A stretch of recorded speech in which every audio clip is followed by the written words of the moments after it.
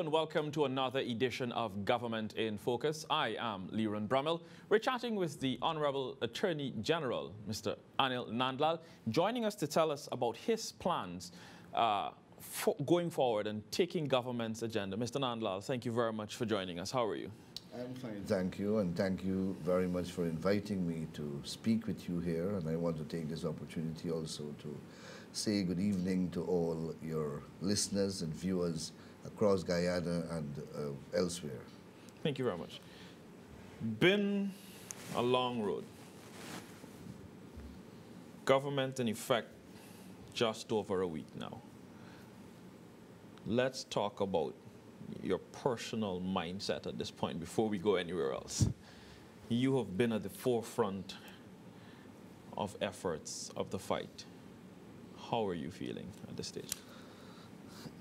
I am happy, I am relieved, and at the same time, I cannot help but feel a deep sense of regret. I am happy and I'm relieved because democracy has been restored in our country.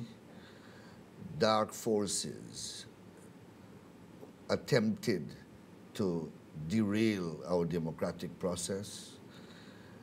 Forces attempted to thwart and defeat the will of the electorate. And in so doing, they threatened the very nation state of Guyana. Statements were uttered, actions taken, if they are subjected to proper legal analysis, they would constitute an attempt almost to overthrow a legally elected government of a country. I am uh, happy because that Guyana survived that challenge. The Guyanese people demonstrated to the world their level of maturity, good judgment, they resisted all sorts of temptation.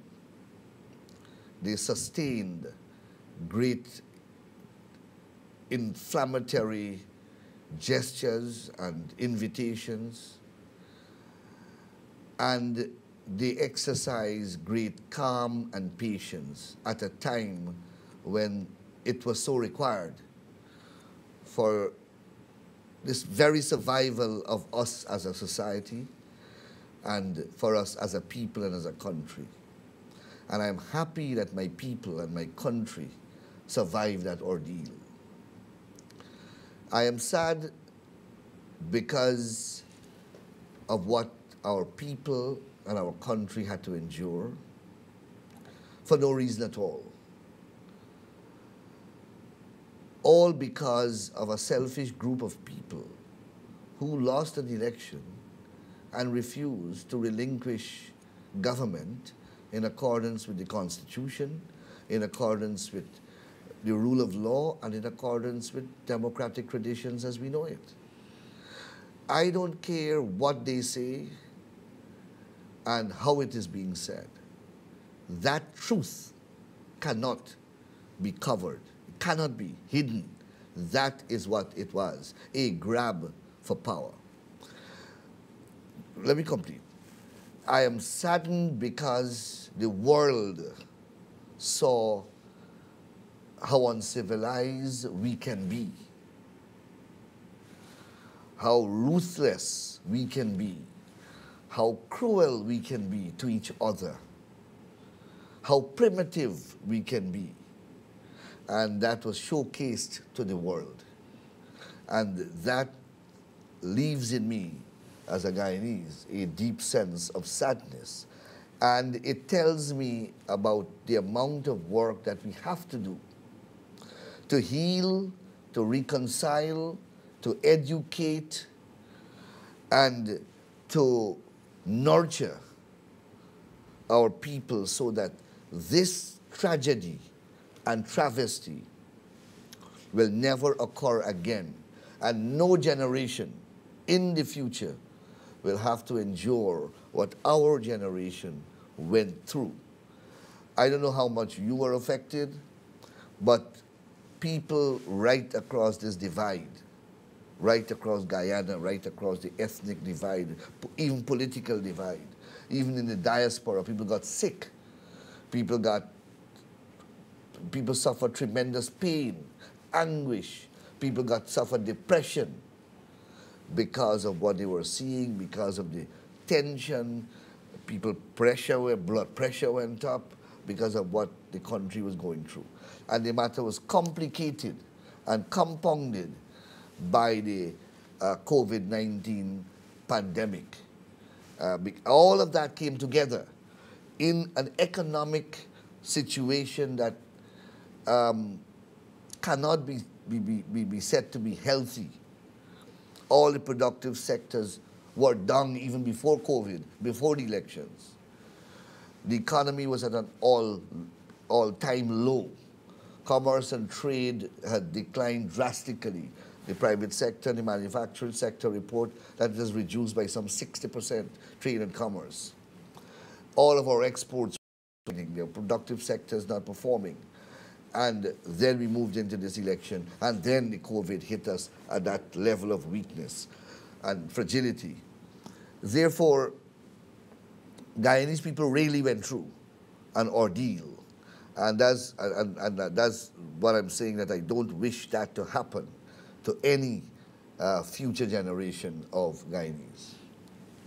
In what you said just now, bringing, dividing, do you think we can heal? Do you think as a nation we can come back from that?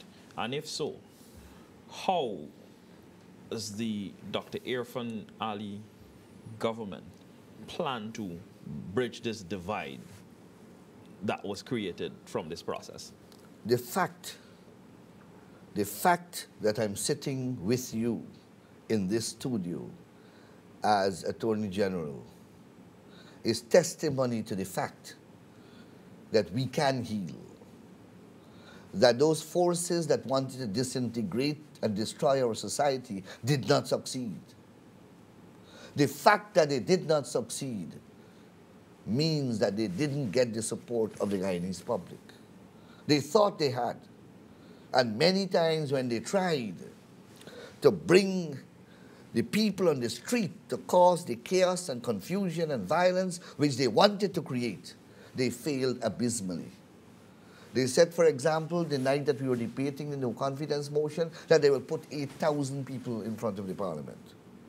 They couldn't put 80. Many times during this period, they said that they're going to burn and they're going to destroy and they're going to make the, you know, it didn't happen. They sent trucks into villages with music, trying to excite people and provoke people and incite people. It didn't happen. It didn't happen. Therefore, I am saying to you that we have, as a people, matured. We have reached a level, and we have proven that. This incident, this tragedy has allowed the world to see that. And we, as a people, demonstrated that by not falling prey to the temptations that were, you know, hanging before us and, and, and, and, shown to us. We didn't react that way.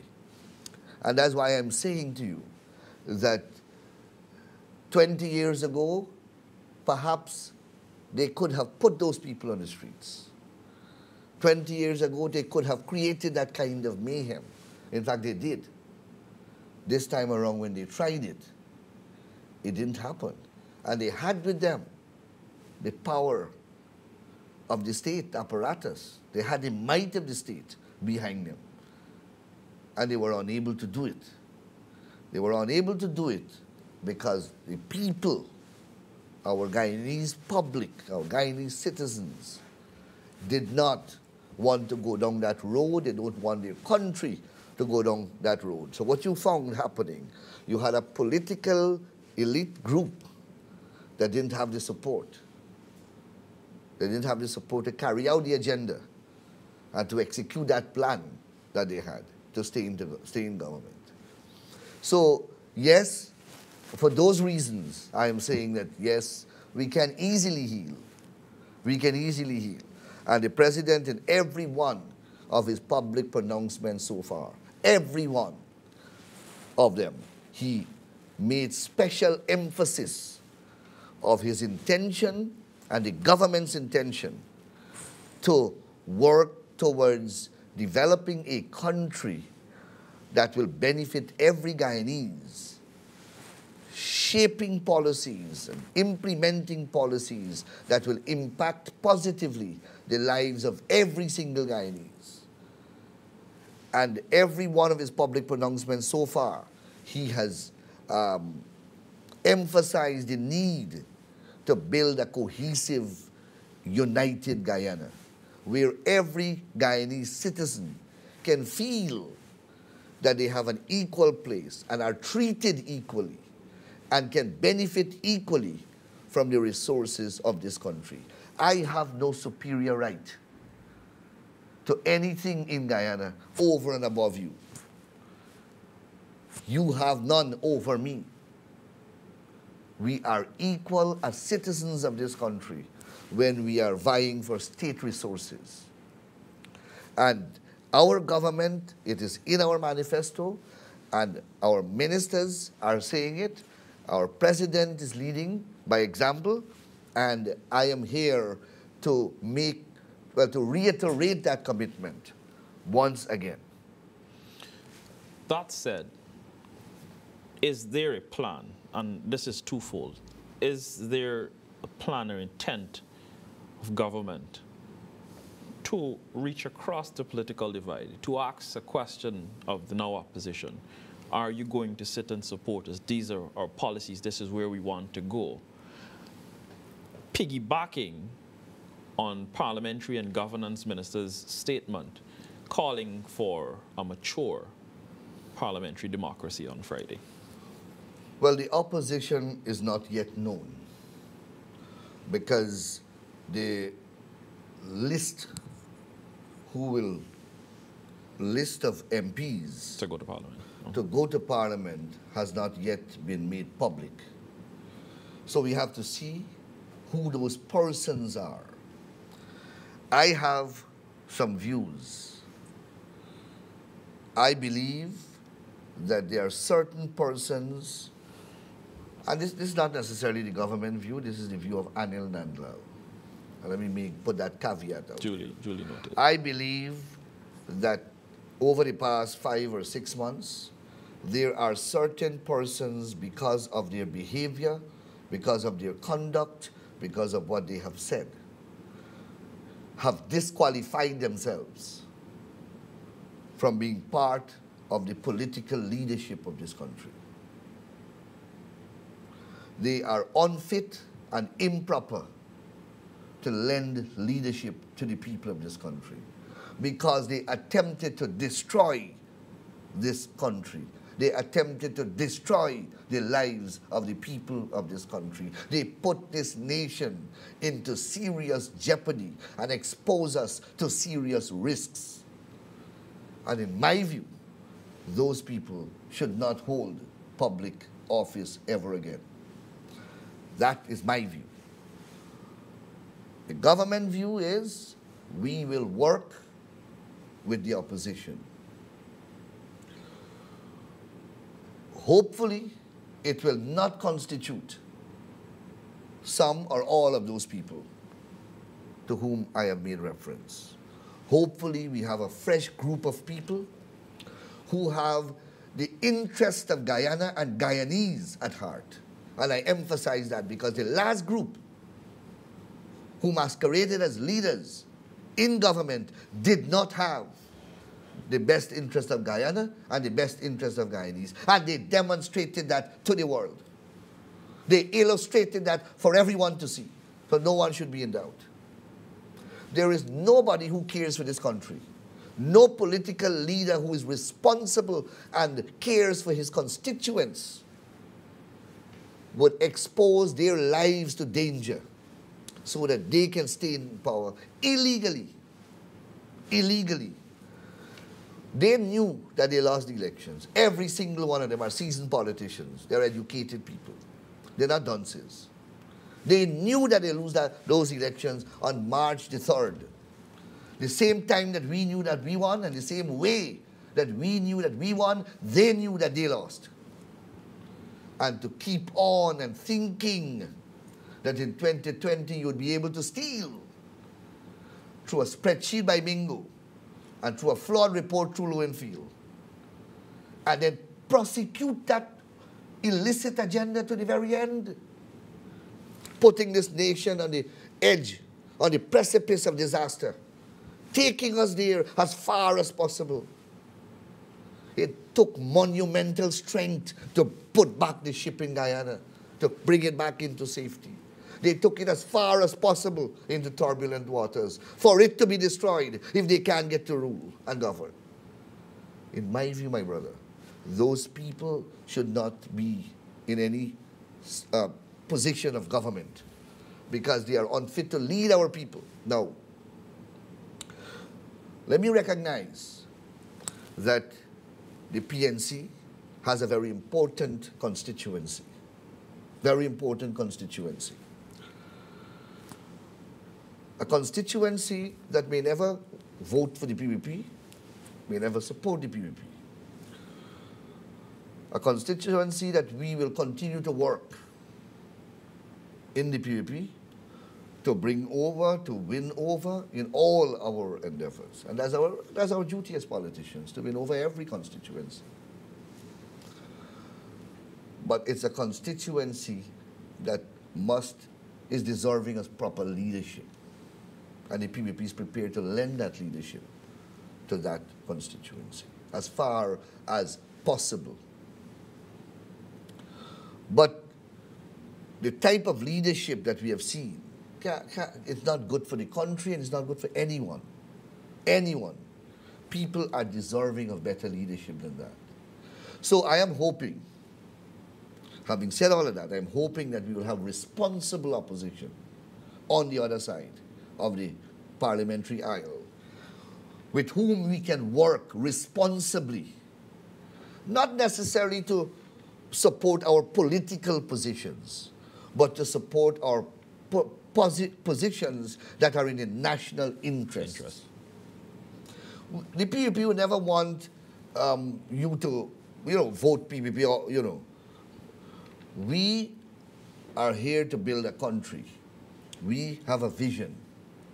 Our manifesto was not crafted at Freedom House in a back room in isolation by two or three persons we consulted nationally across this country. We had a big symposium, if you recall, at the new thriving restaurant at Providence. Yes. We took submissions on board from every sector in this country, from the agri sector, from all the productive sectors, from the private sector, from the religious organizations, from the labor movement, from ethnic-based organizations, and, and we amassed that together and consolidated it in one document. So that document, the policies and promises contained in that document, they, they meet the expectations of every sector of our country and every segment of our population, irrespective of geographic location, ethnicity, religion, etc., etc. So we would like an opposition that will partner with us as far as possible in moving that plan forward. Of course, it, they are free to come up with proposals of their own. And we will welcome discussing it with them and see if they can merge into ours. Or sometimes we may be so impressed with it that we take it over wholesale and adopt it. And adopt it. You, you, you, in, in You've touched on a number of things that I wanted to segue into.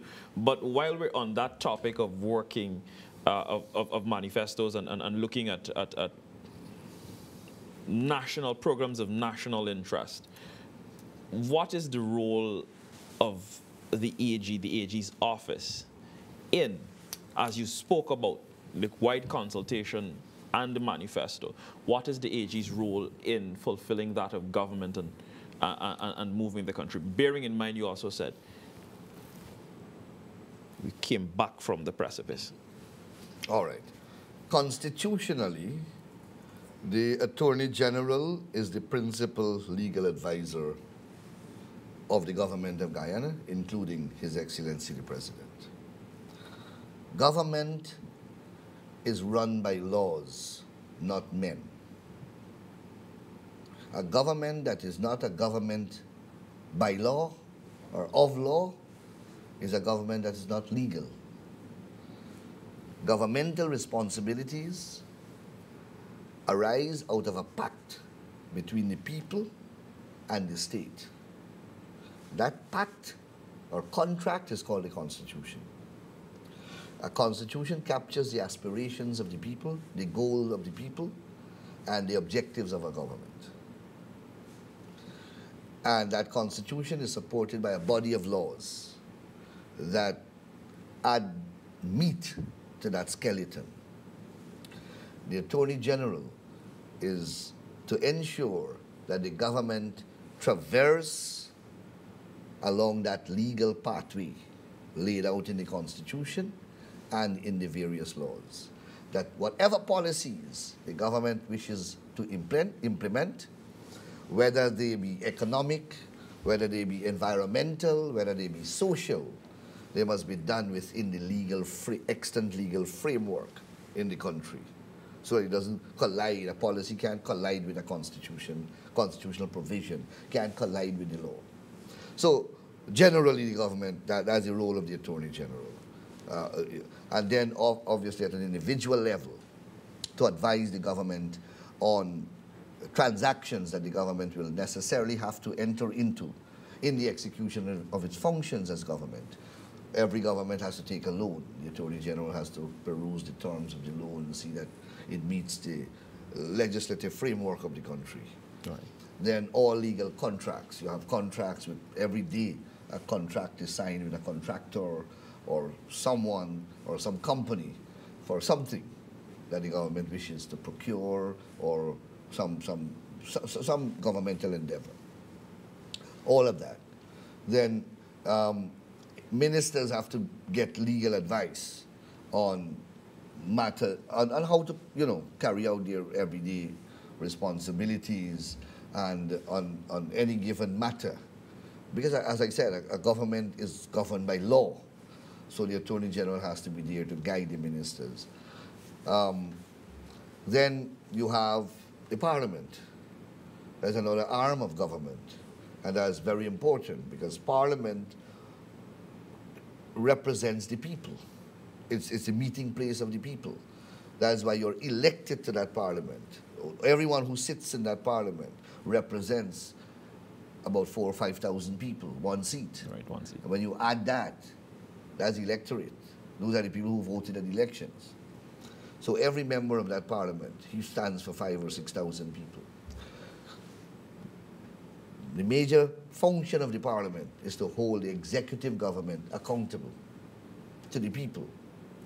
Government is run by public monies, taxpayers' monies, and monies collected, you know, from loans, etc. That is the forum where the government explains how much money it receives and how much money it has to spend and what it is spending it on. And the role of the opposition is to oversight the government in the expenditure funds. Also, another important function of Parliament is for government to take its policies there for discussion with the people remember, the government represents one right. section of the population too. And it has to get the approval, or at least the input, of the other section of the population. As we're, you, and of course, Parliament is a place where you pass all the laws in the country. The Attorney General plays a pivotal role in all of that because Parliament also is regulated by the Constitution and by the laws every law has to meet the test of constitutionality because our constitution is a supreme law. It is the duty of the Attorney General to go through the laws clause by clause to ensure there is no conflict with the Constitution and with other laws because you want to, you want to bring laws into force that are in harmony with each other. You don't want any discord even among your legislation. So that's another important role of Parliament. And then you, I, so, so that, those are the general, General duties of the Attorney General. Then you ask me now about the current state of the country, having regard to what the antecedents are. Well, since the passing of the no confidence motion on the 21st of December 2018, the constitutional character of the country changed. The country went into a different legal and constitutional mode as a result of that constitutional event. The government of the day was mandated to remain in office for three months, within which, within which they were supposed to hold an elections. Upon the passing of the motion also, cabinet, inclusive of the president, ought to resign, and the president ought to remain in office until those elections are held and another president elected through that election within that three months period. All those time frames were tossed aside by this administration, the previous administration.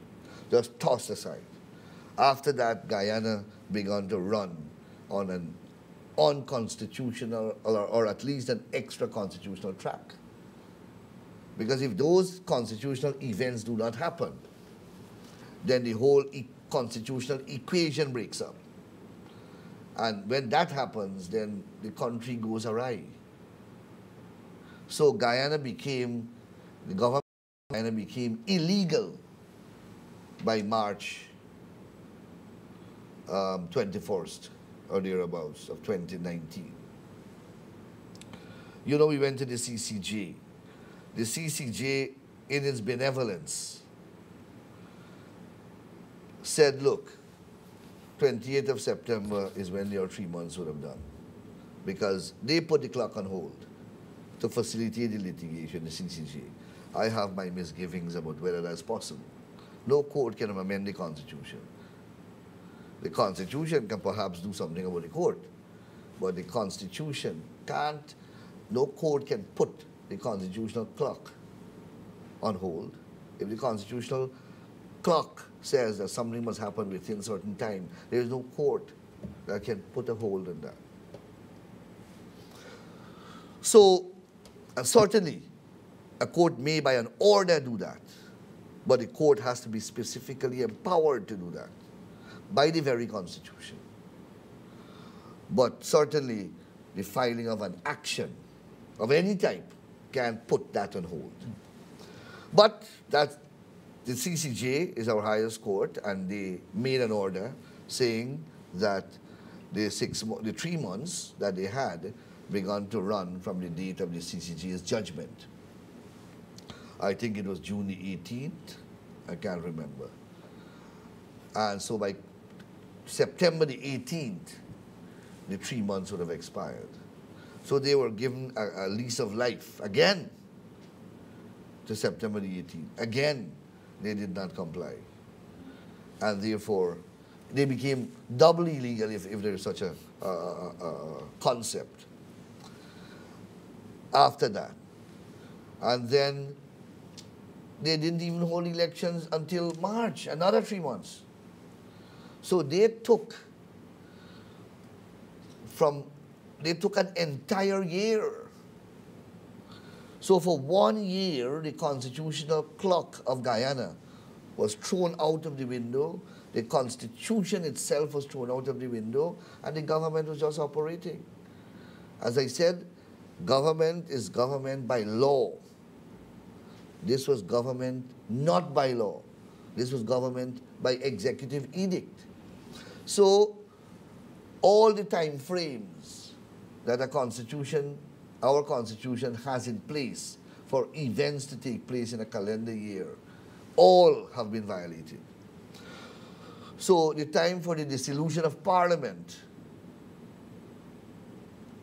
was messed up because parliament was supposed to have been dissolved in anticipation of the elections election. project provided for under Article 106 of the Constitution upon the passage of a successful passage of a no confidence motion. That didn't happen, right?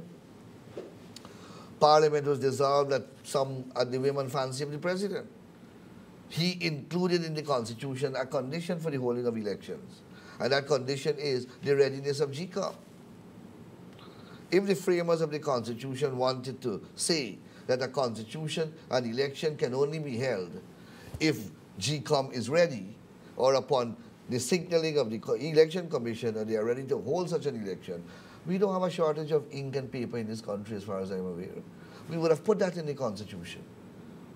So all manner of foolishness they started to invent so as to justify the violation of the law. And, and any government, brother, any government that treats the law and the constitution in such a fashion will lose an election. And anybody who doesn't believe that, they saw it. I have always said that the greatest creation of mankind is the law. And whenever you mess with the law, whenever you disrespect the law, it will destroy you. And it is the law that destroyed them. The same law that they disrespected. So let me complete the, the, the point. Mm -hmm. So we don't have any budget within the time required. The, the calendar year, the financial calendar year, begins January the 1st and it ends at December the 31st. The budget that they, they passed, the last budget they passed, was in this November of 2018 for the year 2019. The Constitution says that a budget must be passed within, not without, within 90 days from the commencement of the year. 90 days is approximately three months. Three months. So, a budget supposed to have been passed in March, right? This is August, and there is no budget. The Constitution further provides that until you pass this budget, you are entitled to use a certain fraction of the previous year's budget and when, when you bring the budget within the 90-year period, you uh, 90 bring days. 90 days period, sorry, you bring all the expenses and you include it in the Appropriation Act so that you get parliamentary approval for that too. But all of that is predicated on a 90-day period. that 90-day period has gone. So they are using, or they were using, monies from the previous budget, but beyond the 90-day period. And the Constitution also says that you can only use it for continuing the ordinary activities of government. Not, in other words, you can't go build a new hospital. That's a capital project. That's completely illegal. So, all these violations continue up to today. Now, Parliament is supposed to convene within a stipulated period after an election. And that stipulated period is, I, I believe, um, I can't remember, but it's about, um, about two months maximum. This election was completed since March. Six months afterwards, we have no parliament. So right now, there is, no, there is not even a deadline for us to go to parliament because all deadlines have expired and have been violated. I say that to explain to you that the entire government has to be lifted and put back on constitutional track so that it can run a legal course. How Everything has been thrown aside. How then is that going to be done of putting the constitution back on this legal track? Well, first of all, we have to understand where we are. And that's what we have been doing for the past week. Understanding the status quo. Where are we financially? We, we understand that forestry is bankrupt. These are places where we left hundreds of millions, if not billions of dollars. The forestry fund, the bank account of the forestry is empty. Done, finish. GGMC, a few billion dollars gone. Housing, we had a fund there, that gone, empty. The Lotto fund virtually depleted. The central bank is, I don't know how much $100 million deficit. and in overdraft with a hundreds of millions of dollars of treasury bills. In the in the, the, the, the reserves are dangerously low. All the macroeconomic signals are signaling distress in every facet of the economy. So we are coming to grips with that now because you have to pass a budget. How do you pass a budget if you don't have an assessment of your financial strength? You can't go and budget for money that you don't have, budget to spend money that you don't have. And you, have a hell of a time finding where the monies are.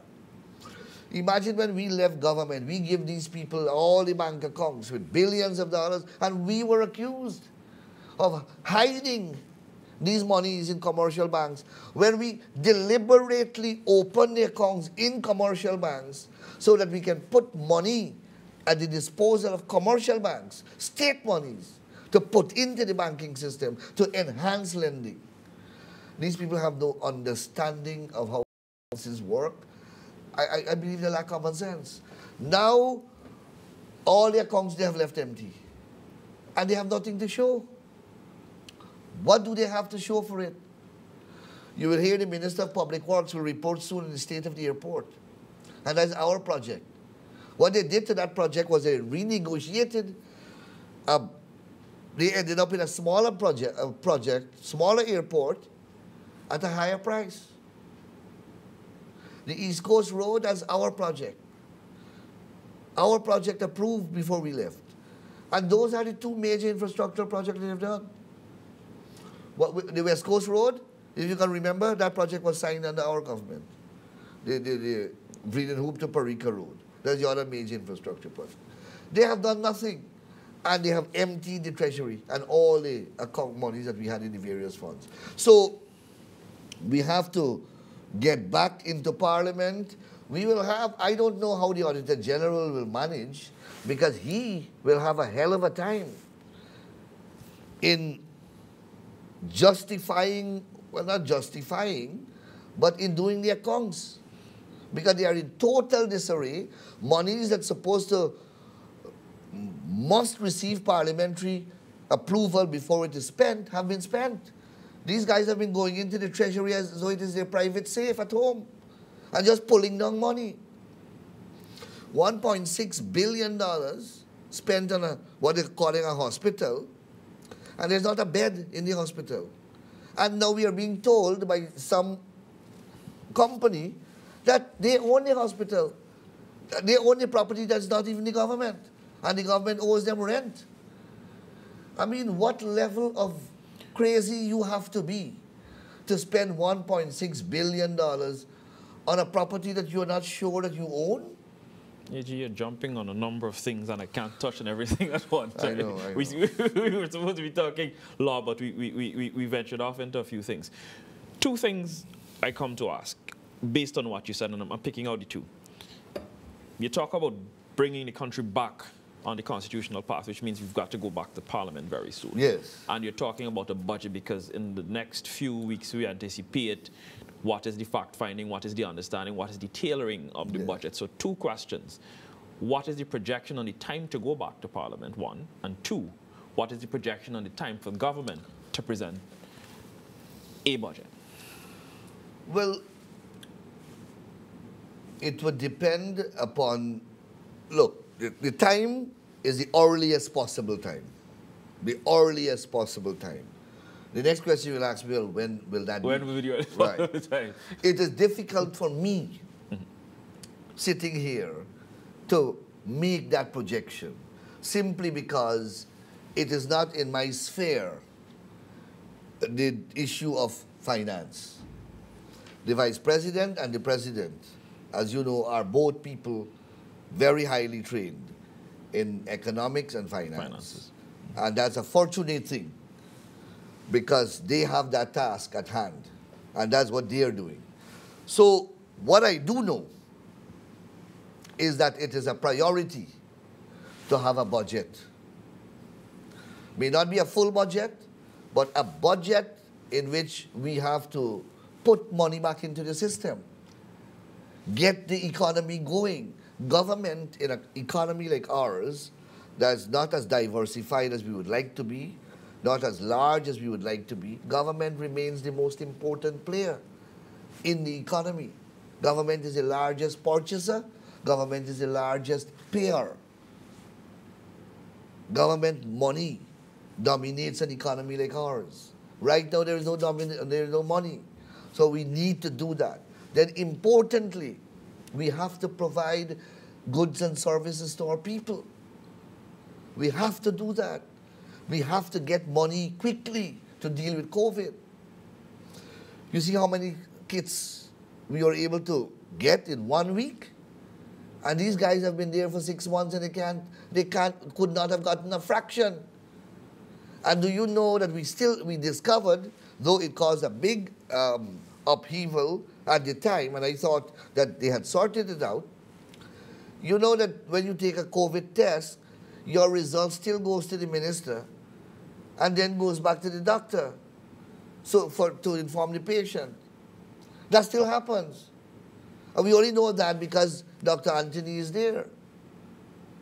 So, you, you, to come back to your question, it's a lot of things that have to be taken into account, but we will have to submit our names and get Parliament going as early as possible. And one of the first items on the agenda would be um, to pass a budget of some type to legitimize spending and to bring more money out. Where we get where we will get the money from is also part of the process, also part a factor in the equation that will determine how long, because we are in pursuit of raising this money, finding it wherever it, it is. Because the government, this government, as far as I'm aware, is not very helpful at all. You don't want to go into the sphere of it, I understand that. The question that is going to be asked now based on your discussion on what has been uncovered, and it mainly comes from the side of the public sector, with what you've said has been discovered, have been discovered so far in terms of the spending and, and, and, and, and, and empty bank accounts, public servants always ask the question, how is this going to affect what I take home to feed my family at the end of the month? Is there an assurance, is there a look right now from the government to say salaries for public servants are fine, we are going to look at the budget in the shortest possible time. But be assured. I, I have heard nothing that would lead me to believe that public servants' salaries are going to be negatively affected or generally their welfare. And I want to take this opportunity here again to assure public servants that they are not going to be victimized or witch hunted. There are political appointments that we have to address and address frontally. You have people who are totally unqualified, and I'm speaking about hundreds, if not thousands of them, in all the ministries, and who have been given political contracts, contracts of employment, for political reasons. They are called sinecure appointments. And they are scattered right across the public sector, in every ministry by the dozens, all over the place. Now, those contracts will necessarily have to be terminated. First of all, it is a bloat on the public sector wage bill. You have some jobs I never hear about. For example, head of public parks, a man getting $500,000 take home a month, all his light bill, phone bill being paid. He has guards at his house, his internet being paid. He has um, a driver and a car. He gets a duty-free allowance in an E grade, whatever that means, I presume is the highest type of vehicle and he gets um, a gratuity of two, 22.5% every six months. And this is a guy, when I find out, is hardly ever in Guyana. But he is the director of public parks. Well, what is that? What is that? And you have hundreds of those creations all over the ministries. In office of the president, in every ministry, you have a whole set of them. They, they just make up some names and give these people jobs. And they're not, I don't know that they're even qualified. I see a man who's a political advisor who I know personally. I don't even know that this man ever studied politics or he was ever in politics. I know he's a friendly with someone in politics, but he's a political advisor in the office of the president. This week, we are going to release dozens of these contracts, and ministers are going to hold press conferences and they will be speaking about them.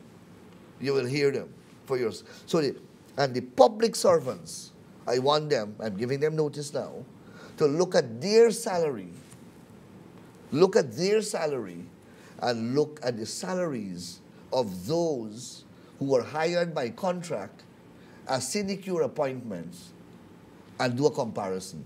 And then you will see the raw deal the people of this country got from the previous administration. We are not going to say it. That's why I'm not really want to say much. I the papers will be there. The documents that they sign will be made public, and you will judge. I, I, I am in a ministry where the lawyers, the lawyers at the bottom level take home $180,000 per month. And they represent the state of Guyana. They represent the entire police force. They represent the army. They represent every public ministry. They represent all the, the apparatuses of the government, all. And they take home 180,000. They have lawyers who have been ensconced in ministries. And these are the lawyers I'm talking about have been working with the state for a long time now, and they have that salary, right? You have lawyers now ensconced in different ministries around the government, and they're paid on a special contract for 500,000 right across the government apparatus. And those people, when you check them, they, they, are, they are just come back from law school or they just joined the, you know, they just admitted to the bar. Right across the board, you have that. Now, how is that? Is that fair? You're asking me to what to tell the public servants? I want to tell the public servants to look at those. And that is what this coalition government did. That is why when we said, during while we were in the opposition, we said repeatedly that they were only governing Guyana for a few people. We were not bluffing. We will release from NICIL in due course the hundreds of properties that were disposed. You will see the process, if there is any. How, the, what, what tender, what, what, what process of, of, of how did you make this public? But you will see huge blocks of land sold. No process. You have an agreement of sale the smallest fraction is paid down, but a vesting order is granted, meaning that the person get title in the, name. Let us say the price purchase price is 200 million. One person paid on 1 million, and they get the title in their name, owing the state 199 million. Now you tell me why those people should not go to jail. Look at Look at what Ashni Singh and Brassington get charged for. Selling, we went to tender. We put public advertisements in the newspapers. We sold to the highest bidder. And yet, Ashni Singh and Brassington were handcuffed. Here, you have no process, no valuation, a man has not paid a fraction, a mere fraction of the price as a deposit, but he has title in his name. All those transactions were fully paid for at market value. You know what they charge those people for? They said the valuation certificate was wrong because they brought a valuation certif- evaluator who value the property at a different price. And that is what Ashni Singh is charged for.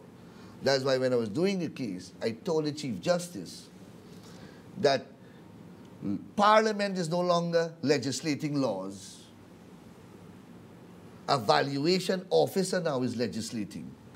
Because you can be jailed because a valuation officer offers a different opinion from what market value has produced. And a man goes to jail because of the opinion of a valuation officer. That's what they charge people for under the PPP administration. You understand? So we have a lot of things to talk about, and a lot of information will flood the public domain in the next few weeks. You will see. AG, you started a whole conversation, but we're going to have to put a pin in it now because we're out of time. We must have you back in, though, to, to have a discussion after you've set your agenda because we, we, we've spoken about what you want to do. How you want to get there, we have to talk about. What are your next steps? But that has to be another discussion Uh, well- because you're closing, closing, closing. Oh, have thoughts. come to the end already. You, you realize that we finished an Okay. hour already, Jack I, Easy. I, I didn't realize that. um, I thought I would, I would get a chance to speak about the AG chambers, but I didn't get to speak about that. But, but Let's we'll pin back. that down for We'll, a we'll second. come back. We'll come we back. Um, um, let me thank you, Mr. Rommel, for having me here. Um, it was a pleasure speaking to you. And I also um, want to thank your viewers and listeners for accommodating us in, our, in their homes. I hope that they have learned a little, and um, I am only dealing with, I have only dealt with matters at the tip of the iceberg. The subject ministers, when they begin to speak, will have the real details, and you know these are the things that um, the public. We have a duty. Remember, people do, people uh, sometimes forget that uh, government has a fiduciary duty over state assets. And you know, not because you're in government, you can deal with assets in a particular way, and um, you have a responsibility for, for to, you know to treat the people of our country fairly. Um, so, so a lot of information will be in the public domain to give uh, the people of Guyana an idea of how how we have performed as a country and how the, uh, the, government has performed over the past five years. They are entitled to know that. They are entitled to know the state of their economy. They are entitled to know this, the, the, you know, the state of the. We have not even touched the oil and gas industry yet. Not yet. We are going to get there and get into the contracts, and and um, a lot of work um, have to be done, as you would appreciate.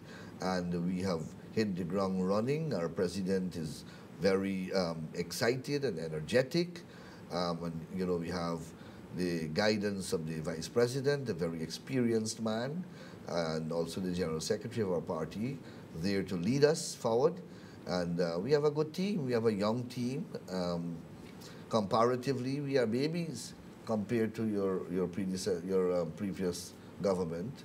Um, the average age here should be in its 40s. The average age there was over 65, old age pension um, level. Not to disrespect the old people, but just to mention a, um, a, a- fact.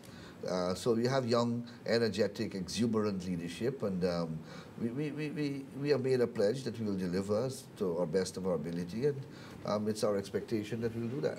Attorney General Anil Nandlall, thank you very much for joining us. This has been another edition of Government in Focus. We'll be having quite a few of these uh, in the coming days. Thank you for tuning in. Be safe and take care of each other.